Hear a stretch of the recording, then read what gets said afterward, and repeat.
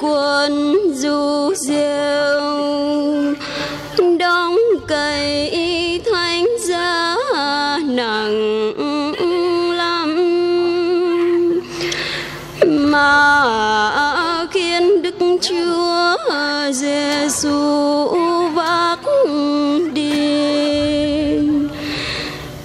Thì người yêu nhọc hết sức bước đi lâu ngã xuống đất. Mà quân giữ chẳng thương. Lại đáp dậy dục đi cho cháu. Sau nữa, nó sợ người chết dọc đường. Chẳng đến nơi chẳng thì nó mượn một người đi đang vác đỡ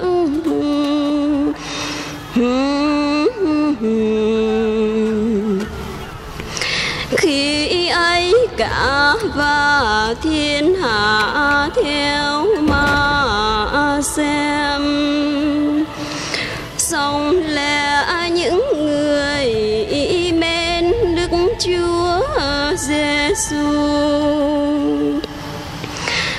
thì thường khóc lóc. Bây giờ người trở mặt lại mà răng ở con thành Jerusalem. Chớ khóc thương ta làm chi. Một khóc thương bay, cùng con cháu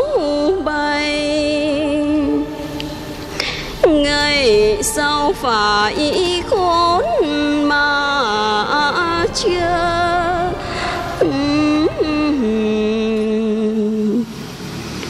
Đăng ký người con vác thanh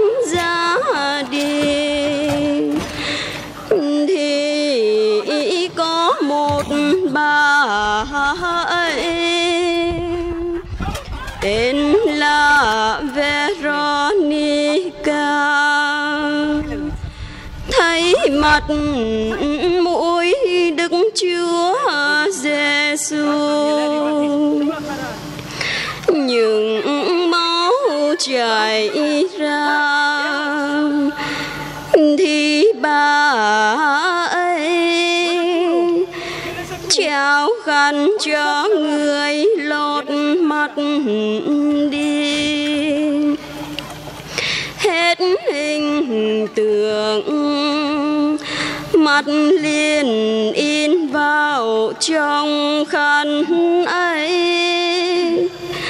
Rầy hãy còn ở thành Roma.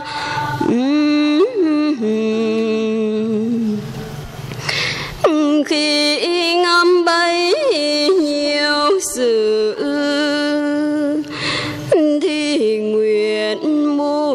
kinh lạy cha.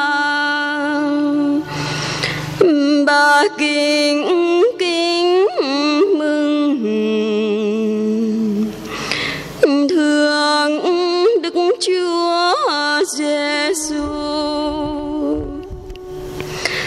vác thánh giá nặng là tội chúng tôi.